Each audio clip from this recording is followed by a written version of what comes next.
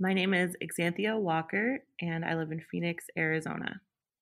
I am a theater artist, um, and I work with an organization called Rising Youth Theater, and we create multi generational work that centers young people's stories and experiences.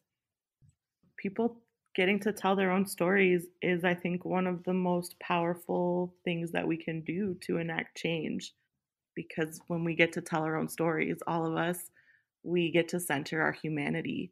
And then it's harder to have a conversation about something like abortion in a way that is um, sterile and political because it's actually about people's lives.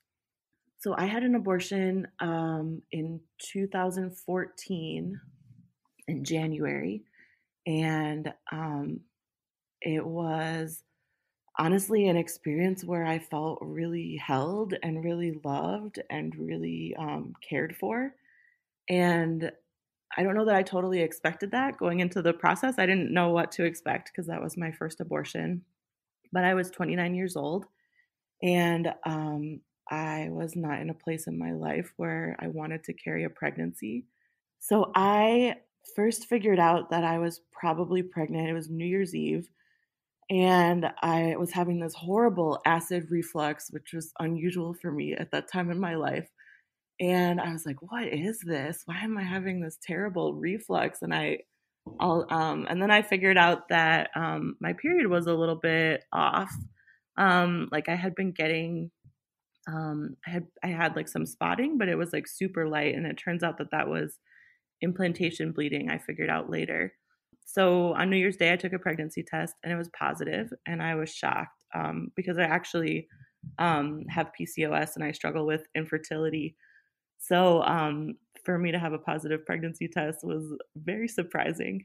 It was just, for a lot of reasons, exactly the wrong time for me to be prepared um, and ready to carry a pregnancy. So I knew right away that that wasn't um, something that I wanted to do.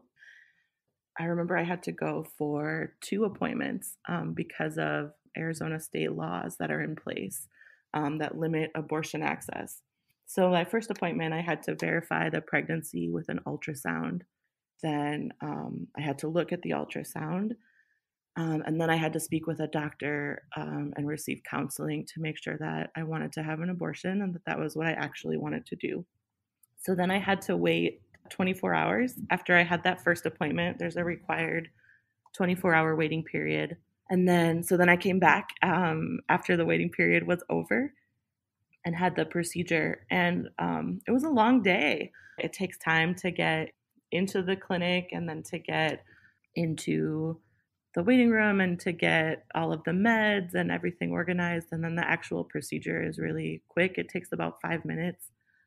I remember it feeling really kind of surreal, but also like I felt an incredible amount of relief and I felt really, really cared about. And um, so that was comforting. I think after the procedure was over, um, they put me in a recliner in the recovery room. And I remember really clearly sitting in this room of people that had all just gone through a similar experience. We had all just had abortions. Everybody was, I think, kind of going through something really different. Like some folks seemed really upset, some folks were reacting really badly to the meds, some folks were smiling and laughing. Uh, and then my partner at the time um, picked me up, and I went home and sat on the couch with a heating pad, and um, that was pretty much it. I think it's interesting because I don't think I have ever had any emotion associated with it except for relief and gratitude. That doesn't mean that it's not complex because I don't think it's an easy process to go through. You know, there was a moment where I wasn't sure if I was going to be able to afford it because at first I thought naively that my insurance was going to cover it. And then I figured out that that was not the case and I had to scramble to um, figure out how to pay for it. I actually paid my rent late that month, and so I don't. I wouldn't say that I had access to it easily um, when I did have access. And when I think about not having access, honestly, it's scary to me because access is critical to making choices. And um, if I didn't have access, I couldn't actually make the choice to carry the pregnancy or not. And so when I think about what that could have felt like, honestly, my body like tenses up. Like I get like anxiety pangs in my shoulders and like my stomach. And, um, and I'm, you know, I think that's part of what's so scary about what we're facing now in Arizona